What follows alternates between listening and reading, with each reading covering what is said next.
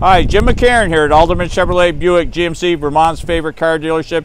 You know we're famous for two things, awesome deals and fabulous service.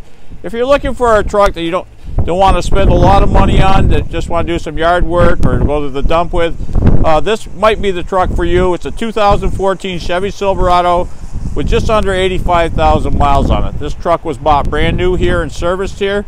This is a six cylinder. This is only rear wheel drive. Uh, but it does have locking differential, which does help in the winter.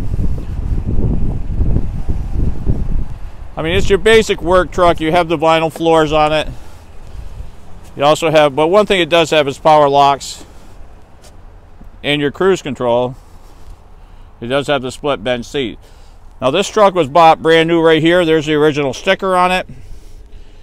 What I like about it, it does have the locking here it says the locking differentials, which will definitely help in the winter.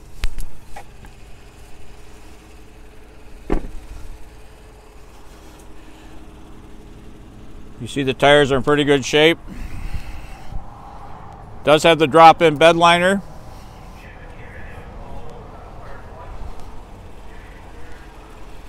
What I really like about this truck though is, is the price on it. It's 13750 is the NADA average value.